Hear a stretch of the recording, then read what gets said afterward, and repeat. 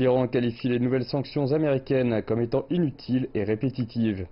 Un porte-parole du ministère des Affaires étrangères a déclaré que les nouvelles sanctions contre les responsables iraniens étaient un signe de faiblesse, de désespoir, de confusion de l'administration américaine. Mercredi, le département américain du Trésor a annoncé les sanctions pour ce qu'il a qualifié de violation des droits de l'homme. La liste inclut le ministre iranien de l'Intérieur qui aurait autorisé les forces de sécurité à tirer sur des émeutiers en novembre de l'année dernière.